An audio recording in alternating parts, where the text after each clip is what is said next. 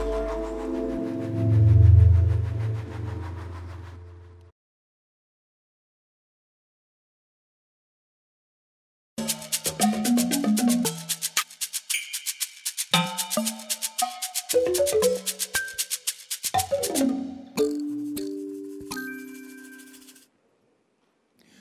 Olá, boa noite. Está começando o Consumidor em Pauta, programa que vai ao ar sempre depois do esporte aqui na TVE, de segunda a sexta-feira. Segunda-feira, a sexta, a gente trata de direito do consumidor, direito do trabalho, direito eh, de família, direito previdenciário, sempre com respostas que vocês podem fazer através do nosso telefone 3230 1530, do nosso WhatsApp, que é o 984531 6352, 984516352, está aí na tela, ou então através do nosso e-mail, que é consumidorempauta.tve.com.br.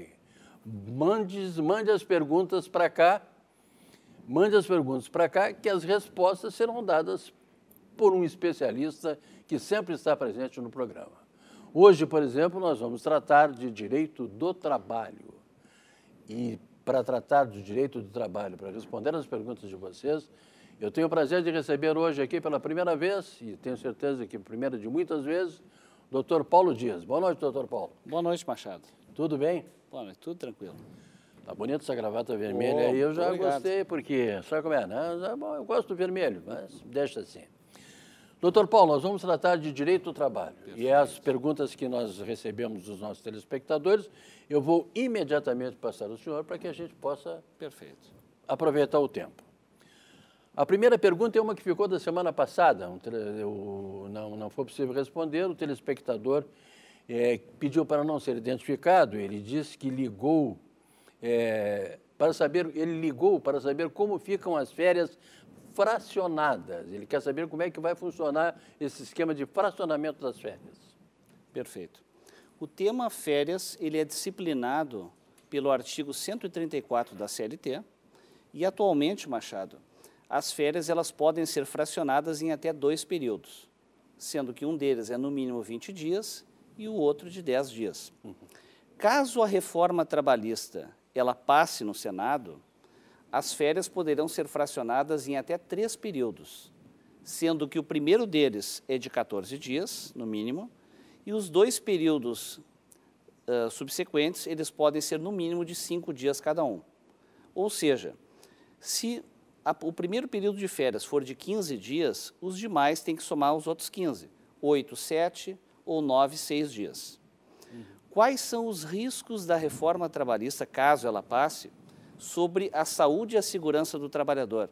E esse talvez seja a principal preocupação que o mundo jurídico tem hoje em dia em relação a essa reforma trabalhista. A preocupação está de acordo com as normas que a própria Organização Internacional do Trabalho, que tem médicos e engenheiros do trabalho, que disciplinaram, através de inúmeros eh, estudos, que é importante que o trabalhador, no período das suas férias, ele tenha no mínimo três semanas de descanso. Essas três semanas de descanso, elas visam possibilitar que esse empregado ele possa se desconectar da, da sua função laboral, ele possa se desligar do trabalho e se recuperar mais adequadamente físico e mentalmente, e também se inserir na sociedade. A reforma trabalhista ela pode afetar drasticamente esse período de repouso tão importante. Lembrando que os períodos de repouso, eles têm no próprio dia, que nós temos um período de repouso e alimentação, entre um dia e outro de trabalho, temos ainda uma pausa semanal e, por fim, a pausa anual, que é o período de férias. Então, nós entendemos que as férias, sendo fracionadas em três vezes em períodos menores, elas poderão possibilitar um aumento bem considerável de doenças e, inclusive, mortes aos trabalhadores. É, é um dos riscos que o trabalhador vai correr, está correndo, porque de repente vai, vai ser aprovada essa lei, Mas tomara que chegue tudo no final, né, doutor Paulo, para que atenda aos interesses do trabalhador, que no fim é a parte mais importante de todo o processo. É, é o que nós esperamos, porque assim, ó, não se trata apenas de um descanso pelo descanso, Sim. e sim eliminar o estresse, as Claro. toxinas, se recuperar, e até sob o ponto de vista econômico, o trabalhador descansado, ele produz melhor, ele rende mais para a empresa, além de se inserir na sociedade, família e amigos. A telespectadora Lídia, que é aqui de Porto Alegre, ela gostaria de saber se, in- se o intervalo pode ser menor de uma hora. Normalmente o intervalo é de uma hora. Ela quer saber se pode ser menor e, sendo menor, se ela corre algum risco, se ela cumprir um intervalo menor que uma hora. Perfeito. Lídia, o intervalo de descanso e repouso, ele pode ser inferior a uma hora. Ah, o que disciplina isso? O artigo 71 da CLT, ele, ele disciplina os repousos possíveis na, na jornada de trabalho. Para jornadas de trabalhos inferiores a quatro horas, não há descanso.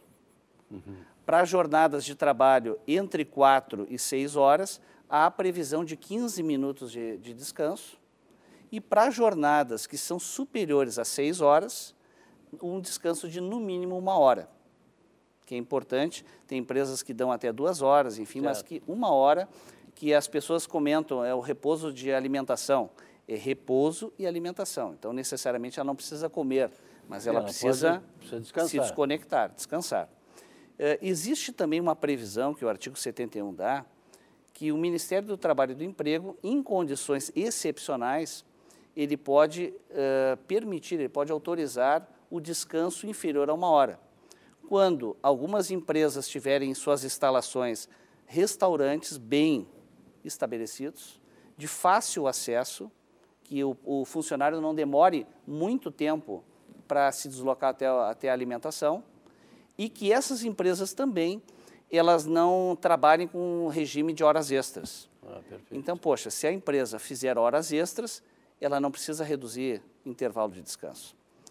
E ainda há um intervalo, que é o artigo 384, que a CLT conferiu à mulher, que naqueles momentos de horas extras, quando a jornada de trabalho ela é extrapolada, a mulher ainda teria 15 minutos de descanso. O Cláudio, que mora aqui na cidade de Alvorada, ele quer saber o seguinte: ele disse, ele conta, que reclamou com o chefe dele sobre algum dos equipamentos serem inadequados e perigosos. O chefe não aceitou a reclamação e ameaçou o Cláudio com demissão. O Cláudio agora quer saber, doutor Paulo, se o chefe dele podia fazer isso. É, Cláudio, na verdade, a atitude do teu chefe ela é equivocada. O empregador ele não pode, é, ele não pode fornecer é, equipamentos. É, a pergunta equipamentos. né? Equipamento, equipamento. É, na verdade, o Cláudio ele não definiu qual equipamento Não, ele não que é. definiu. Mas, enfim, as empresas elas precisam oferecer aos seus empregados equipamentos de proteção individual que possam minimizar ou anular completamente os riscos à segurança dos seus funcionários. Riscos biológicos, riscos a acidentes. O que, que acontece, Cláudio? Eh, existe toda uma legislação que protege a saúde e a segurança do empregado, entre elas a Constituição Federal, no seu artigo 7 e também uma norma reguladora do Ministério do Trabalho, que é a NR9, que diz o seguinte, que as empresas são, são obrigadas a oferecer equipamentos que funcionem, equipamentos que protejam o trabalhador. Na situação do empregado verificar que esse equipamento ele apresenta falha ou não consegue proteger adequadamente o- os funcionários, esse empregado ele deve comunicar à empresa que tem a obrigação de tomar as medidas adequadas e oferecer equipamentos que, que consigam atender. Sem ameaçar com demissão. Esse que é o detalhe. Então, nós vamos falar para o Cláudio. Cláudio, assim, qual é a orientação que nós vamos dar no teu caso específico? Hoje nós temos a tecnologia a nosso dispor. Então, nós temos um celular que bate foto.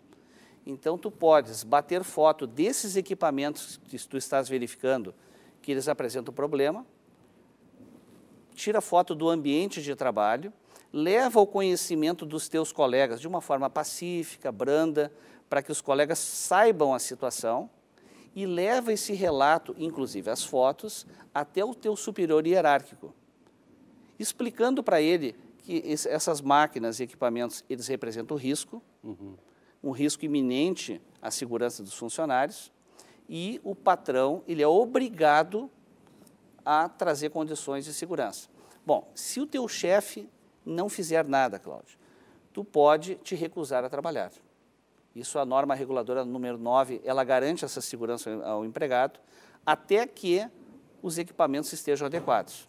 Ou, inclusive, tu pode procurar o teu advogado de confiança e pleitear junto à justiça a rescisão indireta do contrato de trabalho. Perfeito. Nós é, tratamos hoje aqui no programa, que já está terminando, de direito do trabalho. Tive um prazer muito grande de conversar aqui com o doutor Paulo Dias, que respondeu e esclareceu aos nossos telespectadores sobre as dúvidas que alguns têm sobre as questões trabalhistas. Muito obrigado, doutor Paulo. Muito obrigado, eu que agradeço, Machado.